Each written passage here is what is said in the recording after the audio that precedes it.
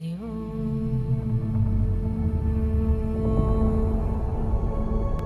planet Arrakis is so beautiful when the sun is low.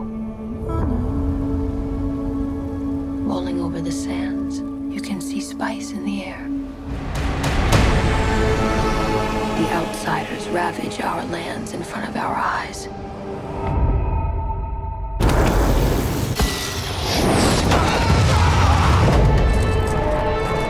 Their cruelty to my people is all I've known. What's to become of our world? It wasn't until this version of the story that I realized it is basically Lawrence of Arabia. It's it's the white savior who comes in and, and helps the oppressed rebel against the government that he initially represented. Yeah, um, and at the end, at the end of the day, like Lawrence of Arabia, he becomes Lawrence. The tragedy of Lawrence that he, he, he realizes he has been an instrument of colonialism all the way. Mm-hmm. And I think that the thing about Dune is what I, I like is, is what it makes relevant and, and, important to do for me is that it, it's a it's a criticism of, of, of this savior figure.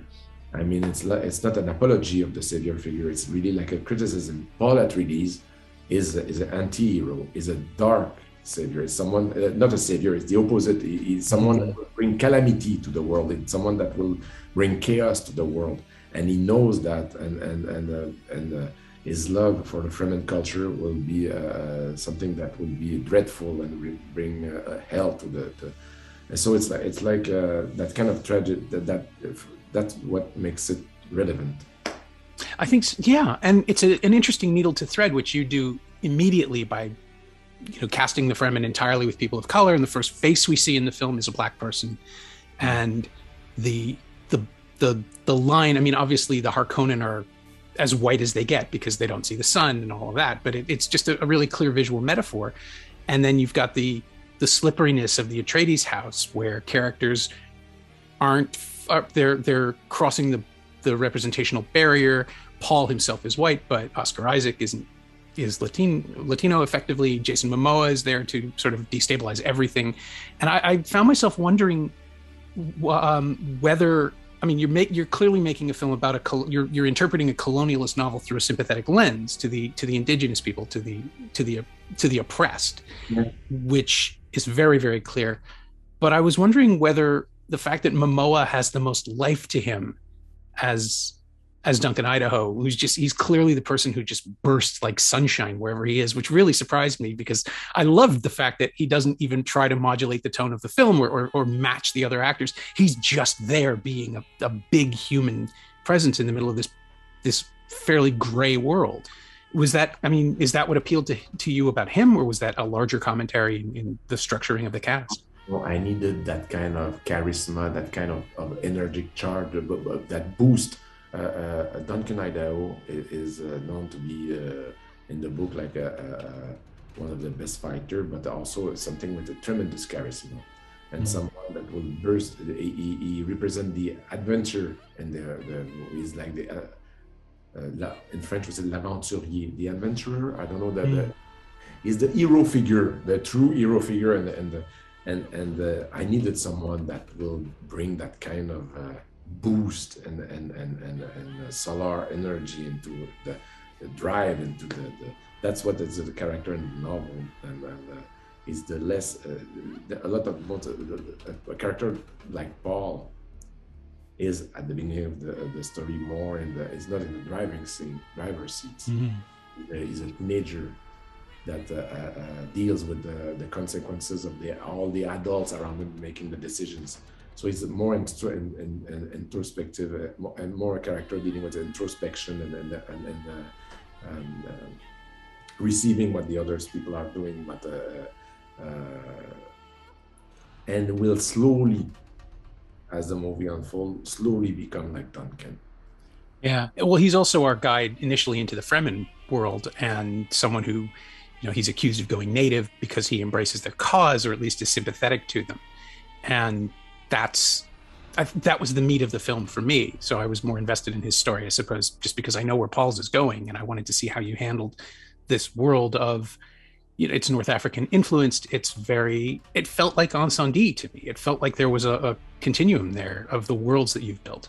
I, I tried to build the, to bring the world to, to the screen like like uh, I, I did dream about it when I read the book, mm-hmm.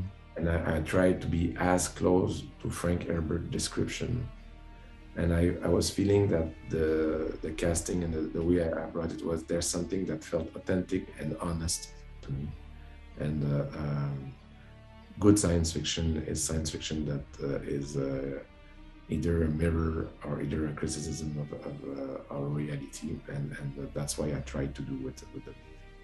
Yeah. Um, well, it felt to me as well that you and, and Danis Goulet's Night Raiders are, are sort of in communication with each other about where we are now, as you say, versus where we could be, and they're both sort of colonial narratives, or they're they're colonization narratives from the position of the colonized, ultimately mm-hmm. that that side with them. And so I wanted to ask where the second film, if you get to make it, where does that go? I mean, how how aggressively will you push the metaphor in your film?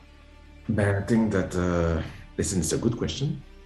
I will I will I will say that uh, uh, when you do a movie in two parts, it means that you know where you're going to the second part, and and that second part, uh, if ever I had the chance to do it, uh, uh, will be even more exciting for me to make because there's like it's it becomes just more I think we go more deeper into the character's psyche and and and much further into the the, the, the subject of the, the colonialism. So uh, uh, I hope uh, I would have the chance to do it. But what you just said, the comment about having um, links with the Danis Goulet movie that I haven't watched yet, deeply excited, and, and because I am looking forward to watch your movie and and yeah, I'm just like um, it just gave me more. Uh, I, am just more excited about it.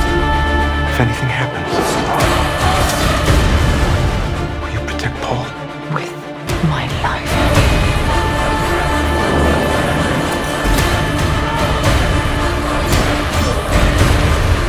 Only together can we stand a chance.